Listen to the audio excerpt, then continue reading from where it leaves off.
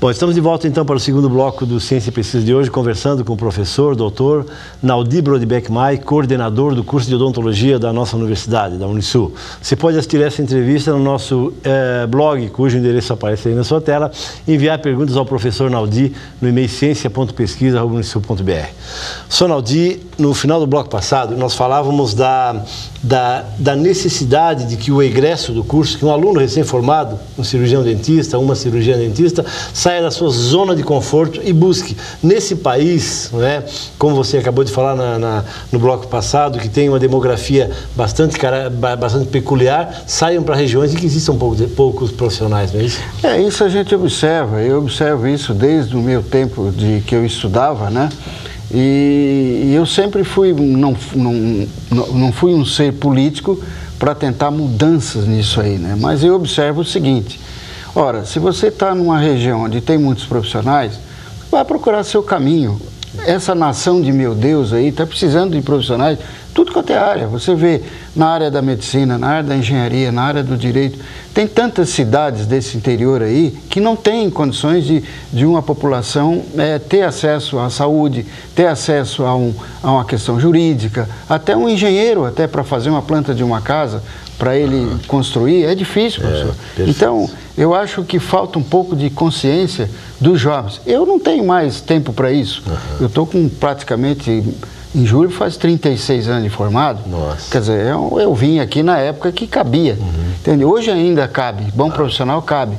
Mas eu fico muito, eu admiro muito quem sai entende? Vai para esse Brasil de meu Deus aí servir essa nação e ganhar dinheiro e, e é para isso que ele é formado, Perfeito. mais nada. É isso, né? isso me deixa de certa forma particularmente agradecido, isso. professor Naldi, por ver realmente um jovem, né, lá numa cidade realmente árida, num lugar árido, mais feliz da vida, trabalhando muito, sem ter mais como fazer para ocupar o tempo trabalhando. É porque na realidade, professor, é, o, ser humano veio no mundo para ser feliz, não é verdade? Exatamente. Então ele tem que buscar o caminho dele. Perfeito. E se ele já pega uma profissão, a profissão ela é o caminho mais é, perto, mais correto de você buscar esse, essa, essa realização pessoal, né? Porque ali é tudo. É Perfeito. É como eu digo, uhum. se eu puder falar, claro. isso aqui, a profissão, ela é pior que um casamento.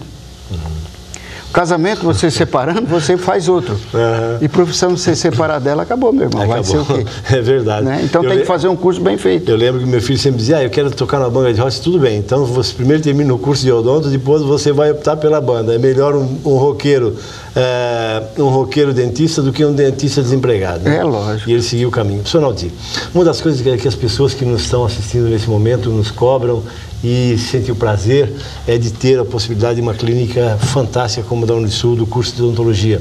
Como é que é realizado e quais são as áreas em que existem, uh, existem serviços, trabalhos uh, de odontologia naquele laboratório que eu tive a honra de conhecer pessoalmente, o laboratório de odontologia da Unisul. Um deles eu conheci o maior deles. Sim.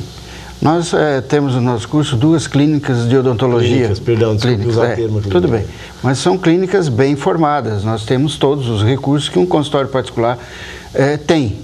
Até coisas e periféricos, que a gente chama são de pontas de última geração. Então os alunos ali atendem a comunidade em geral, sem distinção de aspectos financeiros, econômicos, sociais. Certo. Entende? Não, nós não discriminamos ninguém, aceitamos todos que queiram se submeter ao trâmite de um tratamento odontológico dentro de uma escola. Certo. Que é diferente, ela tem uma dinâmica completamente diferente. Claro. O tratamento ele é mais lento, porque ele é feito sob supervisão. Um aluno não pode dispensar um paciente um, sem a supervisão do professor. É tudo muito bem é, elaborado, muito bem feito, muito bem atendido. E nós temos um índice de, de satisfação, porque a gente tem um, um, local onde a gente pergunta isso aí, de 98%. Nossa! Então, aí Total. as pessoas, lógico, tem as pessoas que elas fazem prótese, elas fazem tratamento de canal, elas fazem cirurgia, isso, tá? elas fazem restaurações. Elas, nós temos uma disciplina que é o Núcleo Orientado em, de Odontologia Restauradora Estética, que são 180 horas aula no semestre, que só fazem a parte de estética. Entende? Tanto nas dentes posteriores e anteriores. Isso dá um handicap muito bom para o aluno. Por isso é que eu digo, modéstia à parte, eu sou mais eu nesse aí. Uhum. Os nossos alunos da odontologia, eles saem daqui completamente seguros e capazes e completos para eles colocarem em qualquer região do Brasil, atender qualquer tipo de demanda que aparecer, salvo as demandas especializadas, que não é o foco do curso de graduação. Sim, isso eu tenho certeza absoluta e, a gente pode futuramente voltar a conversar, professor, e até daria exemplos mais concretos. Professor, como é que uma pessoa que nos assiste nesse momento pode, que gostaria de fazer um tratamento odontológico, a ele, a seu filho, sua filha, enfim, como é que ele tem que proceder?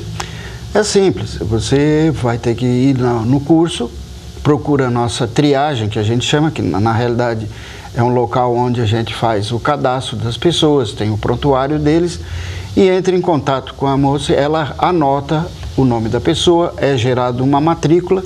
Então, o que, que vai fazer? Passa inicialmente por uma pequena triagem. Por que essa pequena triagem? Os senhores vão entender que lá é uma escola, não é uma clínica de atendimento como um posto de saúde. Perfeito. Então a pessoa vai lá, ele faz uma pequena triagem, suponhamos, o senhor ou a senhora quer fazer, um, vamos supor, uma prótese, quer fazer um tratamento de canal, quer fazer uma cirurgia, quer fazer uma restauração estética. Então o que, que a gente faz? Essa pessoa, ela entra na triagem. A triagem vai determinar que tipo de tratamento ele precisa inicialmente.